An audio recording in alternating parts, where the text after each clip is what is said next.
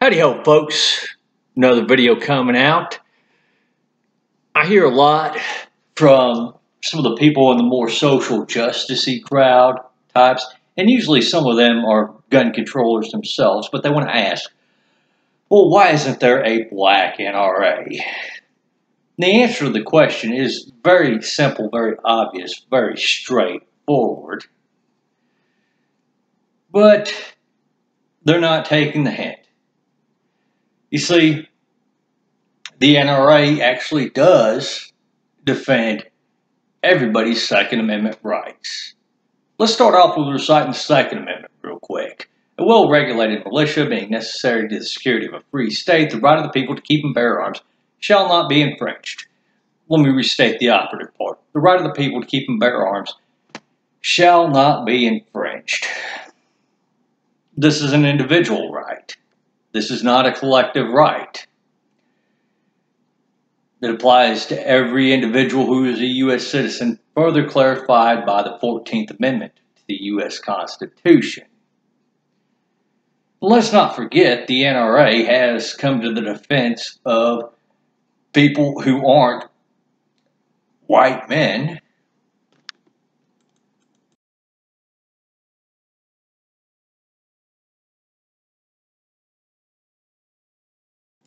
This woman is Shaneen Allen, and she was arrested in New Jersey with a Pennsylvania concealed carry permit and a pistol. Uh, let's not forget the NRA did come to defend her. Several other gun rights organizations did too. Let's not forget that when the NRA opposes something like an assault weapons ban or any other new form of gun control, they're defending everybody from that. Let's not forget that one of the NRA's commentators is Colion Noir.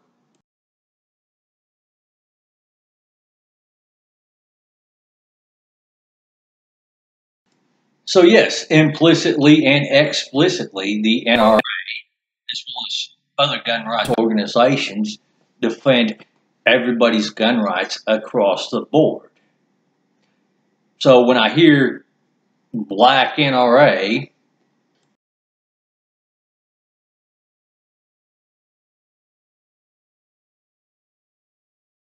So yes, when I hear calls of why isn't there a black NRA or why doesn't the NRA defend black people's gun rights, which the latter is not true either. They do. Just the same as all the rest of the gun rights organizations. A few things come to mind. One, obviously, that example with Sarah Silverman, either implying that blacks are too stupid or irresponsible to own firearms. That'd be the first thing. Or two, trying to paint us out to be the racist that they are. Could be another thing. Uh, and three, possibly the SJW community, the social justice community, trying to interject their identity politics into gun rights, which goes in contrast to the principles of gun rights, uh, at least the gun rights community. We view them as individual rights. We don't view them as collective rights. They're individual rights. They're regardless of your race, your gender, your sexual orientation, yada yada.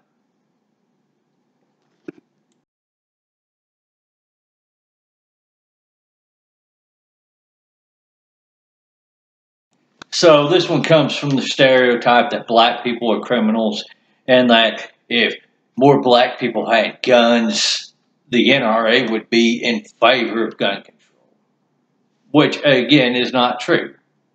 Again, this is a stereotype.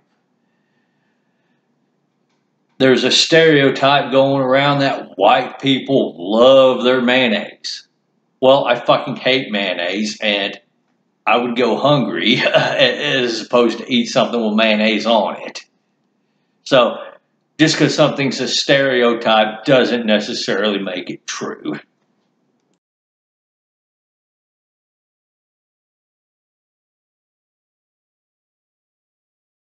All I got to say is, come on, let's get real with this here.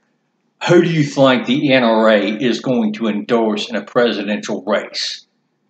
Ben Carson or Hillary Clinton? Who do you think they're going to endorse in a congressional race? Allen West or Charles Schumer? Sheriff race. Who are they going to endorse? David Clarke or Clancy Dudnick? Give me a break. In fact, the only people who would be using any sort of racially charged language in any of those elections would be the gun controllers or the Democrats, which, yeah, there's plenty of overlap between the two. They would be the ones using the term Uncle Tom.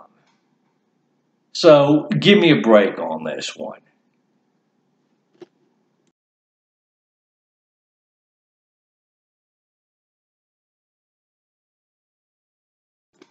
And the last one I want to cover is the social justice warriors' attempt at injecting identity politics into the gun rights community. Because I know social justice warriors like to inject their identity politics into anything they can. And on that one, I'm going to say the gun rights community isn't falling for it. We don't support you on that one. In fact, some of our very first gun control laws were put in place because some white identitarians, some white supremacists, didn't want black people to get guns. So, guess what? You're not a part of our community, and as far as we're concerned, you can go sit in the corner with the Imperial Wizard and all the other KKK members because you're no different than they are. So, to hell with you people.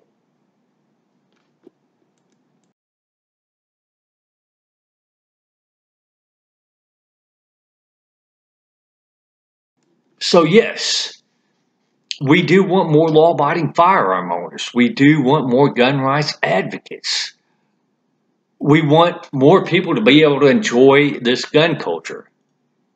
Speaking personally, I know there are a lot of people that aren't able to enjoy U.S. gun culture, either because they live in a state with draconian gun control laws, or they're in another country and haven't gotten to experience that yet. Doesn't matter what your race is, doesn't matter what your gender is, doesn't matter what your ethnicity is, doesn't matter if you're straight, gay, or anything like that. What matters is the freedom. The freedom to choose your own tool for personal protection. To choose the best tool for personal protection that you can possibly choose.